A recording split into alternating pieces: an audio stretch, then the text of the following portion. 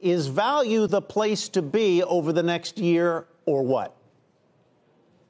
Look, I think Monday reminded us that the biggest fiscal stimulus is going to come from a vaccine or a better risk mitigation strategy as it relates to COVID than any type of fiscal or monetary policy. And it's going to come very sudden.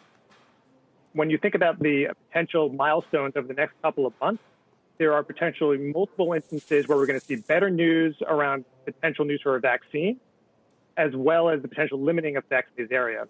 And look at our value stock, the rubber band is stretched by an historic.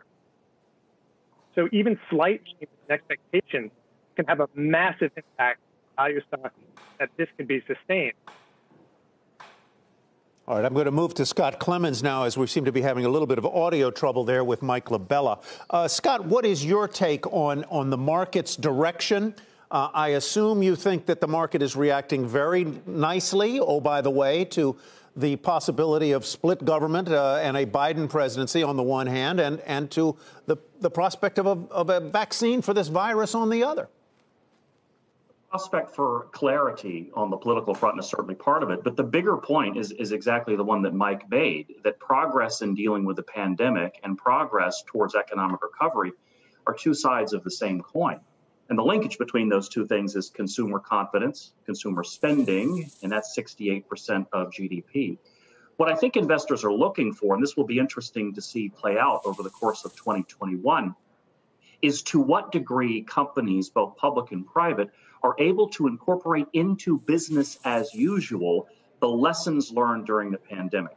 We're looking for companies to better integrate technology, have more flexible workforces, and better utilize assets, real estate particularly.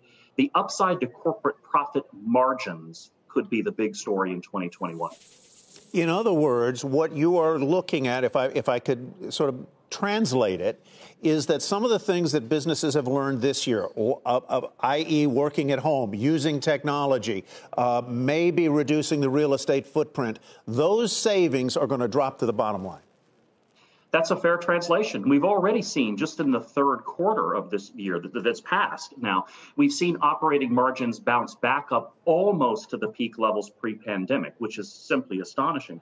If those trends were to continue, we think there's easily another percent or two of operating margin expansion to take place in 2021. That does not sound like a lot, but when you multiply that across the entirety of the public markets, that's an extraordinary rebound in earnings, and it makes the equity market not appear as expensive as it does now priced on depressed earnings. If you look at it more on 2021 earnings, the valuations become much more reasonable, particularly in a monetary environment that's likely to remain very accommodating.